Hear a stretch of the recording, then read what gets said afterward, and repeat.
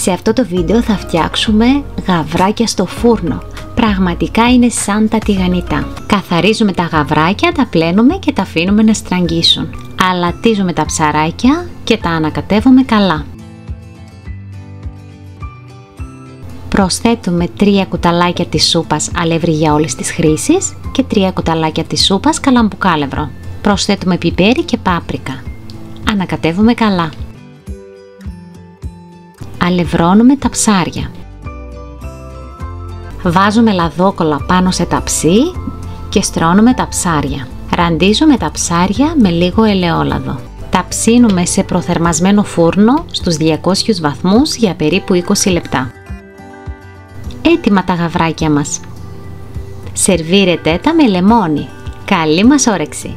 Αν σας άρεσε αυτό το βίντεο, πατήστε like και γραφτείτε στο κανάλι μας. Γεια σας!